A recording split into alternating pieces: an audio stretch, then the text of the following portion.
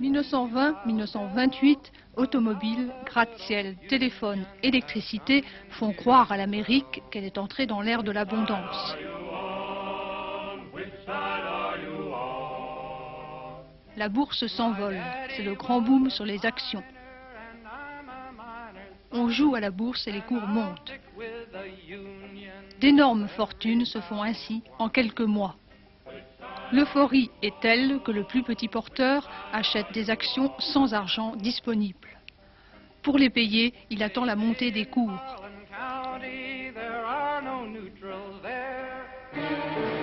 Subitement, en octobre 29, l'optimisme s'effondre. Le 24 octobre, à la bourse de New York, les spéculateurs, par peur de la baisse, jettent toutes leurs actions sur le marché.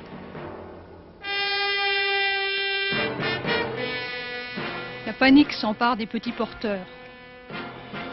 À midi, 12 millions d'actions ont été vendues.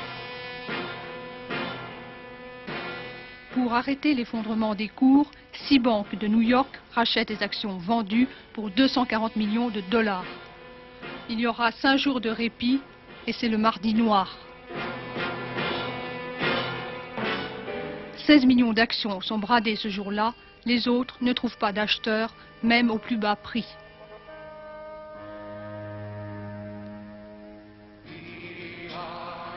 La Grande Dépression commence. Ceux qui avaient acheté des actions à terme doivent vendre tout ce qu'ils possèdent. Un quart des banques du pays doivent fermer leurs portes.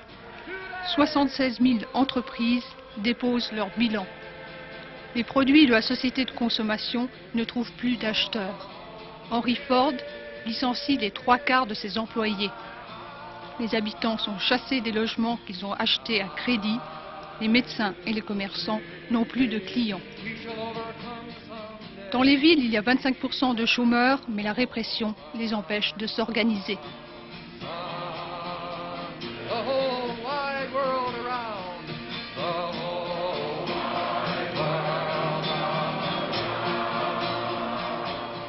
Ils partent sur les routes à la recherche de n'importe quel travail.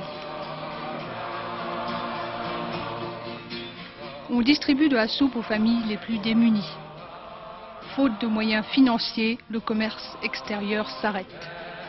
Le revenu national des États-Unis chute de moitié. La crise atteint les autres pays industrialisés. Elle durera jusqu'à la veille de la guerre.